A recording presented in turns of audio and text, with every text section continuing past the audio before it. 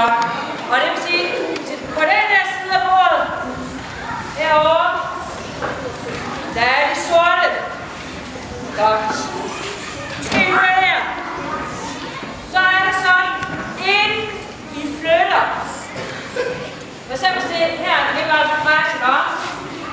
Hvis det nu er Nikolajs tur, inden han skal til den næste ret, så tager han sin dronning eller konge, og så sætter han den ind på brættet. Så kan man nemlig se, at det er... Og nu er det, hvem er der sidder nede for enden af bordet dernede? Ved siden af Rosker, hvad er det, du hedder?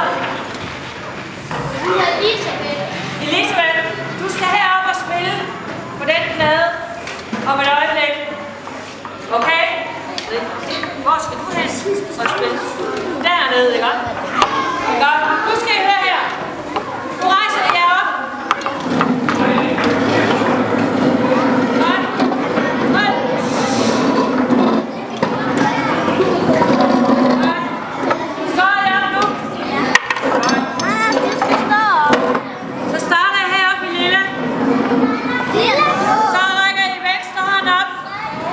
Godt. Venstre hånd.